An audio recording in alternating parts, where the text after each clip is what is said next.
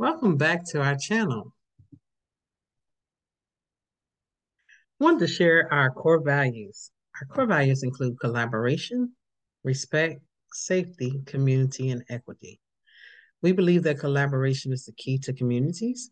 When individuals can come together, collaborate, and create solutions, it empowers communities to be invested in those actions and those resolves respect. Everybody coming into the space has to have some level of respect for one another. And we too respect not only those that are involved in our conversations, our dialogues, our training, and or our mediation, but we also respect the processes that we utilize.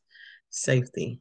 Not only are we concerned with the physical safety of individuals that utilize our services, but we're also concerned about the emotional safety as well as mental safety. When we talk about safe, we talk about creating a space where there's no harm caused by words, deeds, or action. Not that we can guarantee it, but we feel it's our responsibility to create an environment in a space where individuals can feel as if they're safe to participate in dialogue, training, and or mediation.